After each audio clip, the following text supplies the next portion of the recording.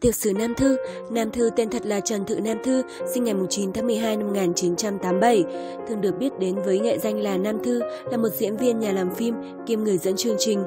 Tên khai sinh của Nam Thư là Trần Thị Nam Thư, sinh ra tại Vũng Tàu, nhưng quê gốc cô ở Huế. Cô còn được nhiều người biết đến với danh hiệu Kiều nữ làng hai, gia đình cô gồm có 4 người, ba mẹ cô và em trai. Lâm Thư là người duy nhất trong gia đình tham gia nghệ thuật.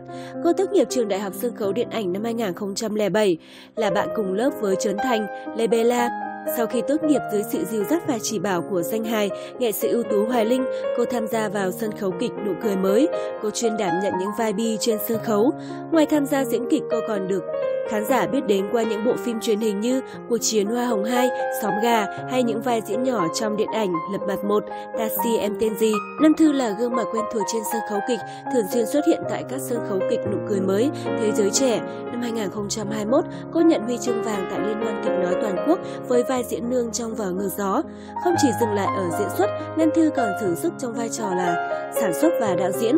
Cô cũng phát hành CD hài kịch Chuyện đời làm và sản xuất sitcom Tiệm Hoa gì ghẻ. Bên cạnh hoạt động nghệ thuật, Nam Thư còn tham gia đào tạo diễn xuất, chia sẻ kinh nghiệm và câu truyền đam mê cho thế hệ diễn viên trẻ. Cô cũng đảm nhận nhiều vai trò khác nhau trong nghệ thuật như ban cố vấn cho chương trình Cười xuyên Việt Tiếu Lâm Hội 2016, Cười xuyên Việt năm 2016 và làm MC cùng diễn viên đại nghĩa trong chương trình Ngạc nhiên chưa trên HTV7. Mảnh ghép tình yêu năm 2018. Ngày 11 tháng 7 năm 2018, trên kênh YouTube Nam Thư African, Nam Thư ra mắt phim cổ trang Nam Phi Liên Hoàn Kế do cô sản xuất và đóng vai chính. Đây là phim thứ ba do cô sản xuất và phát hành trên kênh YouTube sau Kiều Nữ Phá Án 2016 và Gia đình Bá Đạo 2016. Cũng trong năm 2018, cô tham gia chương trình Quyền lực ghế nóng và giành giải Á quân. Năm 2019, Nam Thư được chọn làm MC chương trình Bạn muốn hẹn hò, đồng hành cùng Quyền Linh sau khi cắt tương. Tuy nhiên, không may mắn cái bóng của đàn quá lớn khiến Nam Thư không được khán giả đón nhận nồng nhiệt. Khi chia sẻ về gia đình, Nam Thư cho biết từ khi còn nhỏ đến nay bố mẹ luôn dành cho cô những điều tốt nhất. Ngay cả khi cô đã hơn 30 tuổi, mỗi lần về quê bố của cô vẫn giữ thói quen, dọn rén vào phòng vén mùng và kéo chân cô để hôn như khi cô còn bé. Mẹ của Nam Thư cũng rất cưng chiều con gái. Khi cô còn nhỏ do tính thẳng thắn, cô thường bộc lộ rõ cảm xúc yêu ghét với mẹ. Khi Nam Thư khoảng 5 tuổi, cô thường xem các nghệ sĩ biểu diễn trên TV và rất thích thú với những chiếc nơ thắt trên đầu họ. Thấy con gái thích mẹ của cô đã lấy khăn, thách thần, bím nơ trên đầu cho cô. Tuy nhiên chiếc nơ không vừa ý nên Nam Thư đã thẳng tay tát vào mặt mẹ mình. Nam Thư cho biết đây là câu chuyện được mẹ kể lại vì cô không nhớ rõ do còn quá nhỏ và đầu tư vào cuối năm 2023, khi được hỏi về vấn đề kết hôn Nam Thư chia sẻ, tới thời điểm này tôi vẫn chưa lập gia đình, nhưng lý do không phải vì sợ người ra trường. Tính cách của Nam Thư thì không thể yêu một chàng trai ra trường được. Tôi nghĩ nhiều phụ nữ bây giờ không lấy chồng vì có quá nhiều sự lựa chọn. Lý do thứ hai là người ta đó còn nhiều thời gian để tận hưởng, sống hạnh phúc cuộc đời của mình. Đàn ông cũng vậy, có bồ thì vui, nhưng lâu lâu cũng thấy phiền. Đi với bạn bè chơi vui quá, không nhắn về thì người yêu nghi ngờ. Phụ nữ chúng tôi cũng vậy.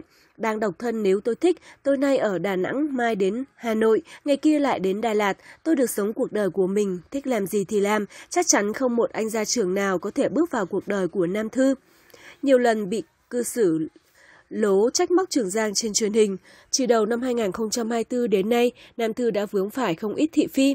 Tháng 1 năm 2024, Nam Thư phải lên tiếng xin lỗi sau khi vướng ồn ào đăng ảnh ôm sát hại Quang Tuấn, nam diễn viên đã có gia đình. Cô giải thích khi đóng phim chung, các đồng nghiệp nam thì luôn cư xử với họ như hai người đàn ông. Tuy nhiên, nữ diễn viên thừa nhận bản thân đã dỡn hơi quá đáng và xin rút kinh nghiệm. Tháng 4 năm 2024, Nam Thư lại tiếp tục bị chỉ trích vì những hành động mạnh tay với đồng nghiệp, biểu cảm gay gắt và lớn tiếng trong đám cưới của siêu mẫu Minh Tú.